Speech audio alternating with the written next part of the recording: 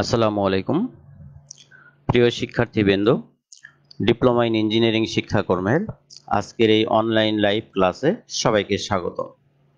আশা করি তোমরা সবাই সুস্থ আছো এবং ঘরে আছো। আজকে ক্লাস উপস্থাপনায় Mohammad Abbas Ali, instructor non tech পদার্থ, রংপুর পলিটেকনিক ইনস্টিটিউট, রংপুর। আজকে লেকচার চোদ্দ, বিষয় ফিজিক্স টু, এটা মূলত দ্বিতীয় পর্বের শিক্ষার্থীদের জন্য। বিষয় কোড ছয় পাঁচ নয় দুই দুই, অধ্যায় নয়, ইলেকট্রন, ফোটন এবং তেজস্ক্রিয়তা দ্বিতীয় অংশ। প্রিয় শিক্ষার্থীবৃন্দ, তোমরা কি আমার কথা শুনতে পাচ্ছ? যদি শুনতে না পাও, তাহলে অবশ্যই জানাও কমেন্ট করে। আর কোনো প্রশ্ন থাকলে তোমরা অবশ্যই প্রশ্ন করবে, লেকচারের শেষের দিকে ইনশাল্লাহ সেই প্রশ্নগুলোর উত্তর দেওয়ার চেষ্টা করব।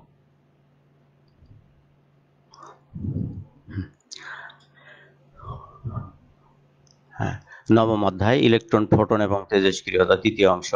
হ্যাঁ আজকের আলোচনায় যা থাকছে তেজস্ক্রিয়তার সংজ্ঞা, বৈশিষ্ট্য ও ব্যবহার।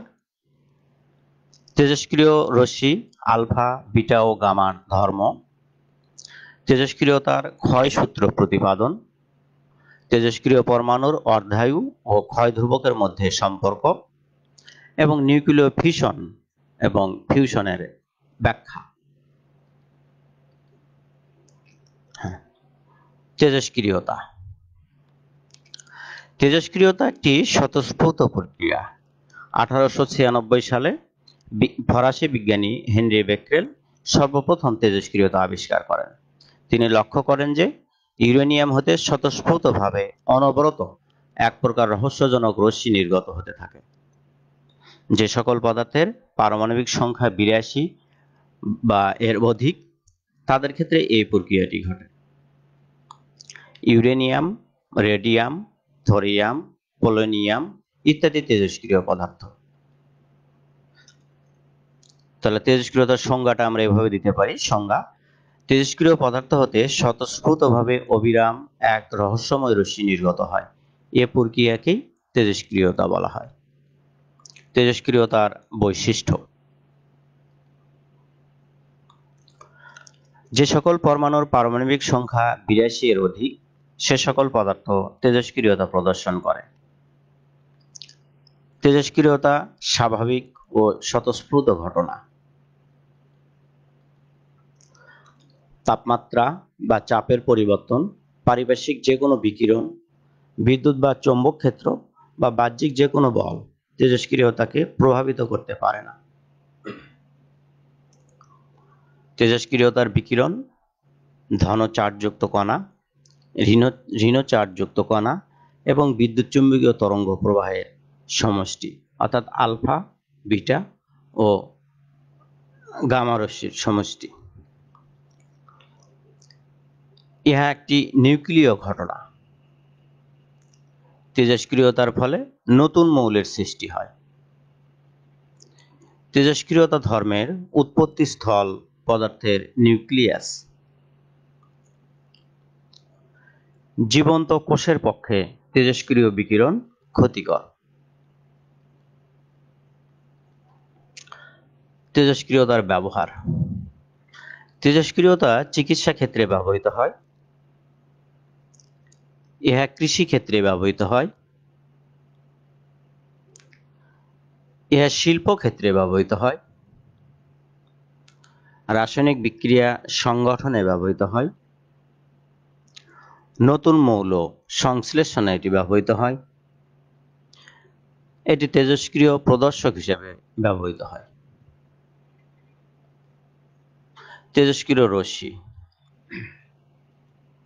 বিজ্ঞানী রাদারফোর্ড ও ভিলার্ড পরীক্ষা নিরীক্ষার সাহায্যে দেখান যে তেজস্ক্রিয় পদার্থ হতে তিন প্রকার রশ্মি নির্গত হয়। অর্থাৎ এই তেজস্ক্রিয় রশ্মি তিন প্রকার।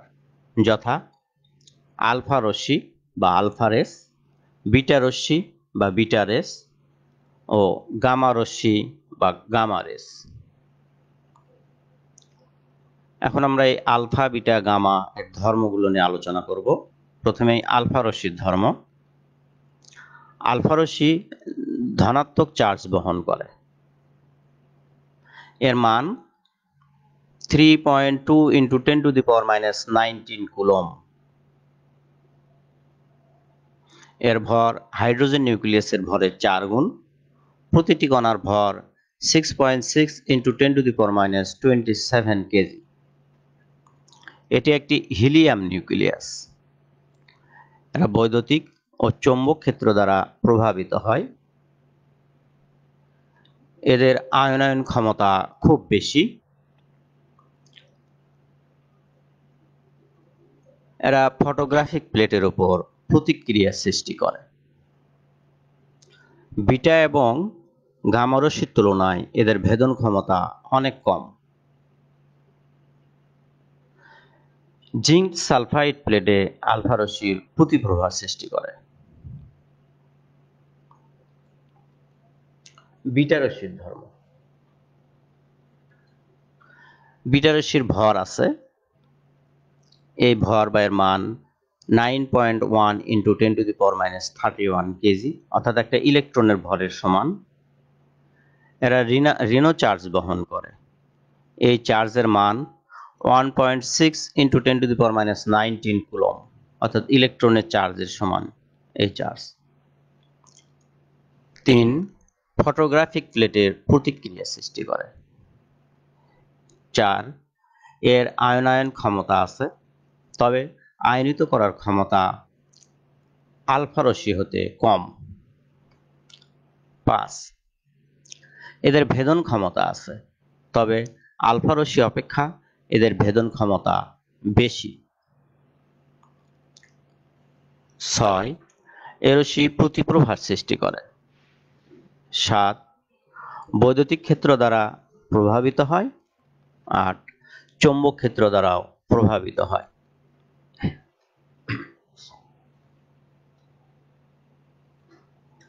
গামা রশ্মির ধর্ম।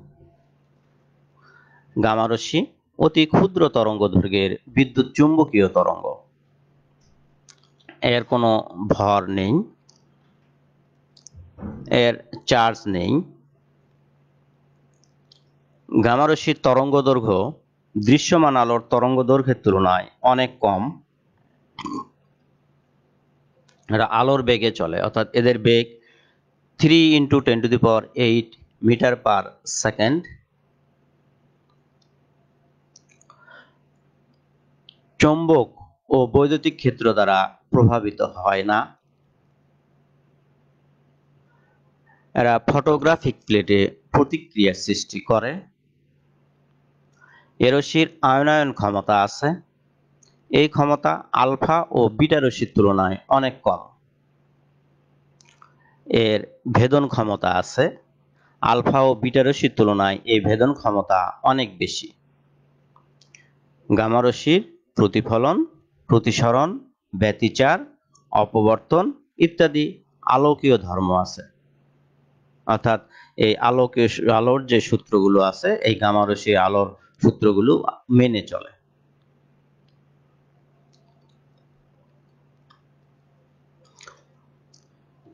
এখন তেজস্ক্রিয়তার ক্ষয় সূত্র এই অধ্যায়ের একটি খুবই গুরুত্বপূর্ণ একটা প্রশ্ন, যে তেজস্ক্রিয়তার ক্ষয় সূত্র প্রতিপাদন করো।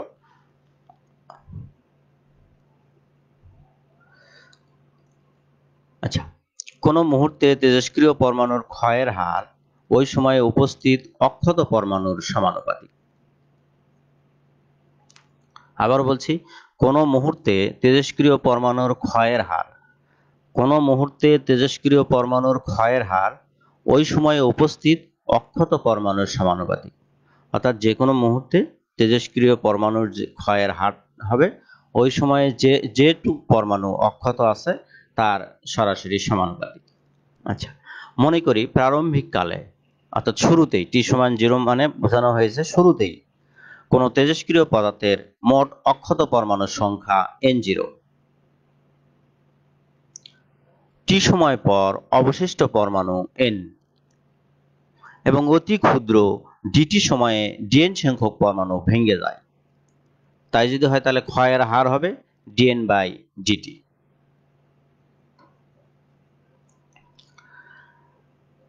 তাহলে অতএব ক্ষয়ের সূত্র হতে আমরা পাই ওই যে আগে বলেছি যে কোনো মুহূর্তে তেজস্ক্রিয় পরমাণু ক্ষয়ের হার, তাহলে তেজস্ক্রিয় পরমাণু ক্ষয়ের হার হলো ডিএন বাই ডিটি ওই সময় উপস্থিত অক্ষত পরমাণুর সমানুপাতিক। আর এই টি সময় পরে অক্ষত পরমাণুর সংখ্যা ধরা হয়েছে এন তাহলে সূত্র হতে আমরা পাই এই minus D N by D T proportional N এই মাইনাস দ্বারা বোঝানো হচ্ছে যে এটা ভাঙ্গনের হার বা ক্ষয়ের হার বা ক্ষয় নির্দেশ করছে মাইনাস বা ঋণাত্মক চিহ্ন। বা মাইনাস ডিএন বাই ডিটি সমান সমান সমানুপাতিক চিহ্ন উঠে গিয়ে একটা ধ্রুবক আসলো, সমানুপাতিক ধ্রুবক ল্যামডা। একে ক্ষয় ধ্রুবক বলা হয়। এখান থেকে কিন্তু আমরা এই ক্ষয় ধ্রুবকের সংজ্ঞাও দিতে পারি। যে ক্ষয় ধ্রুবকের সংজ্ঞা আমরা দিতে পারি জাস্ট এই মাইনাস ডিএন বাই ডিটি এর নিচে এন বসবে। তাহলে আমরা বলতে পারি যে তেজস্ক্রিয় পরমাণুর ক্ষয়ের হার এবং অক্ষত পরমাণুর সংখ্যার অনুপাতকে বলা হয় ক্ষয় ধ্রুবক এভাবে আমরা এখান থেকে ক্ষয় ধ্রুবকের সংজ্ঞাও দিতে পারি। যা হোক, বা ডিএন বাই এন এই এনটা এখানে আসলো আর ডিটিটা এই এখানে লেখা হলো অর্থাৎ এ লাইন এবং এ লাইনের মধ্যে কোনো পার্থক্য আছে কি? দেখো, এই ডিএন এর নিচে লিখলাম আমরা এন ক্যালকুলেশনের সুবিধার্থে, আর এই ডিটিটাকে আমরা নিলাম ল্যামডার সাথে। তাহলে ফাইনালি দাঁড়াল কি? এবং এ মাইনাসটাকে আমরা ডান পাশে পার করে দিলাম। তাহলে ফাইনালি দাঁড়াল D N by N equal minus lambda D T এটা এক নম্বর সমীকরণ দিলাম। এই সমীকরণকে যদি সমাকলন করা হয়, তাহলে কি পাওয়া যায় দেখো? যে ইন্টিগ্রেশন অফ ডিএন এন সমান সমান minus lambda integration of D T কারণ যেহেতু ল্যামডা একটা ধ্রুবক ধ্রুব সংখ্যাকে সবসময় সমাকলনের বাইরে রাখা হয়। আমরা জানি লগ এক্স বা লন এক্স বা লগ ই এক্স যেটাই বলি, একে ডিফারেন্সিয়েশন করলে পাওয়া যায় অন বাই এক্স তাহলে বিপরীত ক্রমে অন বাই এক্সকে যদি আমরা ইন্টিগ্রেট করি, তাহলে পাবো লন এক্স তাহলে এখানে ওয়ান বাই এক্সের মতোই যে ওয়ান বাই এন কে ইন্টিগ্রেট করা হলো, তাহলে আমরা পাবো কি? দেখো যে লগ ই এন সমান সমান ডিটি কে ইন্টিগ্রেট করলে পাওয়া যায় হলো টি ল্যামডা এখানে ধ্রুবক আছে। আর এখানে আসলে অতিরিক্ত হলো সি এই সি হলো সমাকলন ধ্রুবক যখন টি সমান সমান জিরো তখন এন সমান সমান এন নট আবারও বলছি, যখন টি সমান জিরো মানে শুরুতেই এন সমান সমান হলো কি? এন নট তাই যদি হয়, তাহলে দুই নম্বর সমীকরণে এই মানটা বসালে টি এর মান জিরো এবং এন এর পরিবর্তে যদি এন নট বসাই, তাহলে আমরা পাই সি সমান সমান log E N not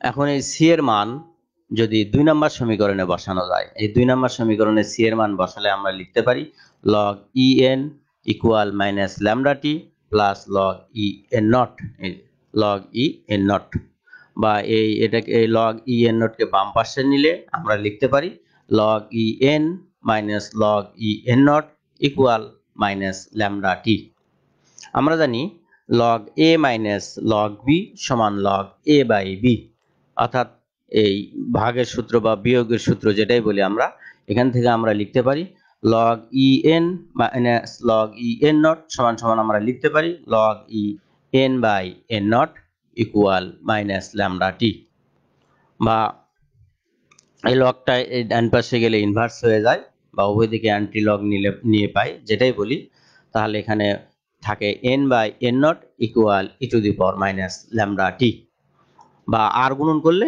an সমান সমান N not E to the power minus lambda T ইহাই তেজস্ক্রিয়তার ক্ষয় সূত্র আর এই তেজস্ক্রিয়তার ক্ষয়টা সূচকীয়ভাবে হয়, এজন্য অনেক সময় বলা হয় যে সূচকীয় তেজস্ক্রিয়তার সূচকীয় সমীকরণও বলা হয় একে।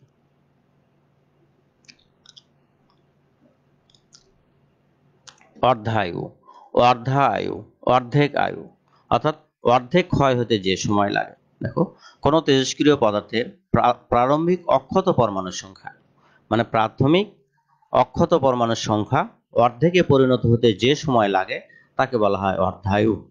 একে সাধারণত টি হাফ বা টি দ্বারাও প্রকাশ করা হয়, ক্যাপিটাল টি এখন আমরা দেখব অর্ধায়ু এবং ক্ষয় ধ্রুবকের মধ্যে সম্পর্ক।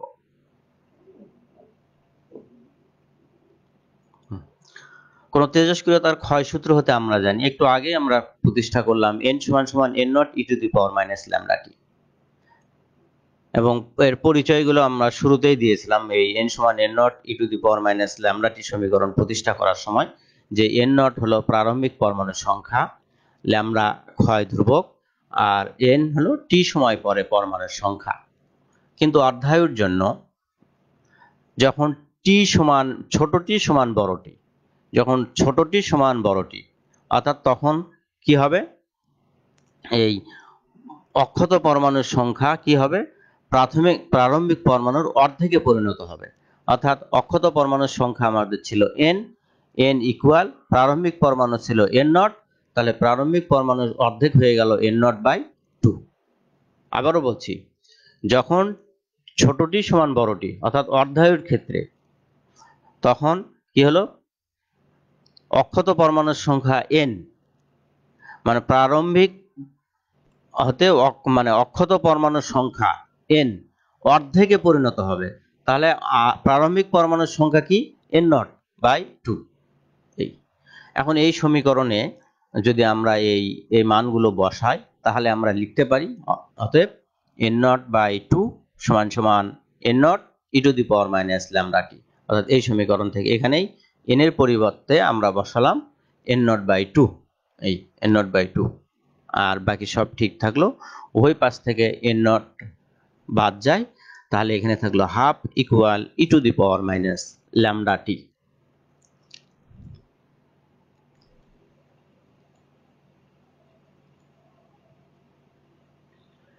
আচ্ছা বা উভয় দিকে যদি আমরা লগ নেই, তাহলে কি পাই? যে লগ ই হাফ ইকুয়াল এ পাশে লগ এবং অ্যান্টি লগ উঠে গেল, তাহলে শুধু থাকল মাইনাস ল্যামডা টি বড় হাতের টি বা এটা ভাগের সূত্র এখানে কি হবে?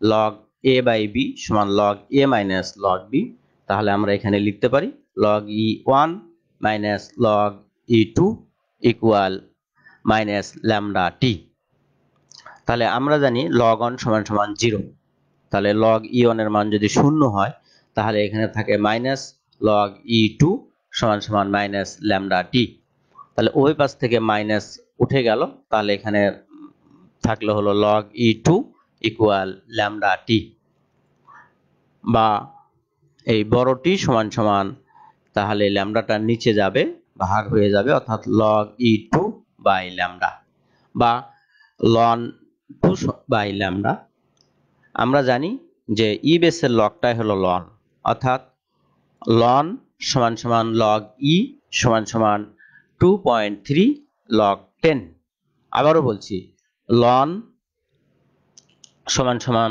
লগ ই সমান সমান two point three log ten অর্থাৎ এই ই বেসের লগটাই হলো লন তাহলে আমরা এখানে লিখতে পারি log e two by lambda বা লন টু বাই ল্যামডা আমরা জানি এই লগ ই টু বা লন টুর মান হলো জিরো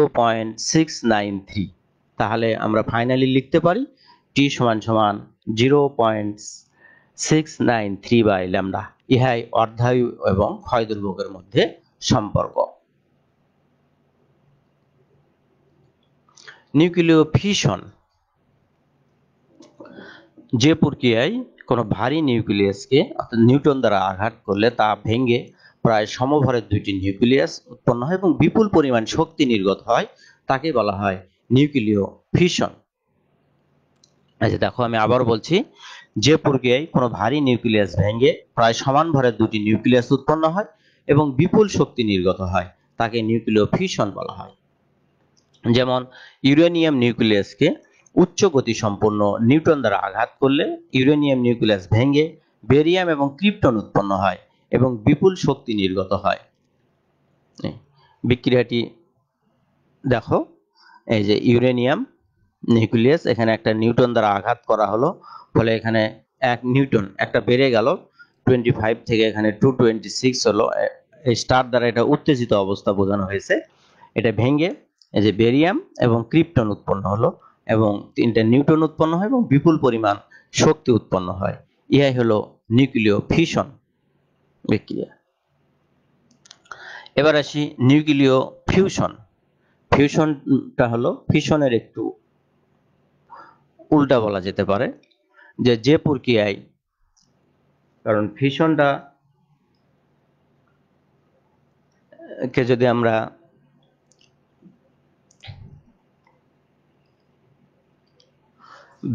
বিয়োজন বিক্রিয়া বলি এটাকে আমরা সংযোজন বলতে পারি। যেমন যে প্রক্রিয়ায় দুটি হালকা নিউক্লিয়াস সংযুক্ত হয়ে অপেক্ষাকৃত একটি ভারী নিউক্লিয়াস উৎপন্ন করে। দুটো হালকা নিউক্লিয়াস সংযুক্ত হয়ে অপেক্ষাকৃত একটা ভারী নিউক্লিয়াস উৎপন্ন হয় এবং প্রচুর শক্তি নির্গত হয়। তাকে নিউক্লিয় ফিউশন বলা হয়। যেমন হাইড্রোজেনের আইসোটোপ ডিউটেরন এবং ট্রাইটন যুক্ত হয়ে হিলিয়াম নিউক্লিয়াস উৎপন্ন হয় এবং প্রচুর শক্তি নির্গত হয়। এই যে আমরা জানি হাইড্রোজেন সবচেয়ে সরল নিউক্লিয়াস, এর মানে এর ভর এক। কিন্তু এটা দেখো, এটা কিন্তু হাইড্রোজেন না। হাইড্রোজেনের একটা আইসোটোপ, হুম ডিউটেরন আর এটা টিউটেরন মানে ট্রাইটন। পরস্পর যুক্ত হয়ে উৎপন্ন হলো হিলিয়াম নিউক্লিয়াস এবং এখানে নিউটন থাকল এবং বিপুল পরিমাণ শক্তি উৎপন্ন হয়। এটাই হলো নিউক্লিয় ফিউশন বিক্রিয়া। বাড়ির কাজ বাড়ির কাজে যাওয়ার আগে আমি একটু দেখছি তোমাদের কোনো প্রশ্ন আছে কিনা প্রশ্ন থাকলে সে প্রশ্ন উত্তর দেওয়ার চেষ্টা করব ইনশাল্লাহ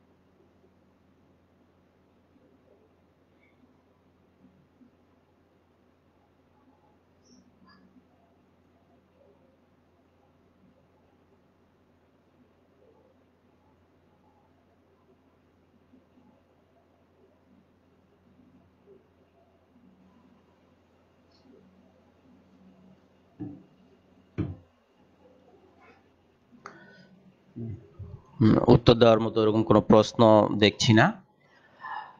তাহলে একটু বাড়ির কাজ দিয়ে দেই। এক নাম্বার, তেজস্ক্রিয়তার সংজ্ঞা ও ব্যবহার লেখো। তেজস্ক্রিয়তার ক্ষয়সূত্র প্রতিপাদন করো। তিন, অর্ধায়ু এবং ক্ষয় ধ্রুবকের মধ্যে সম্পর্ক স্থাপন করো।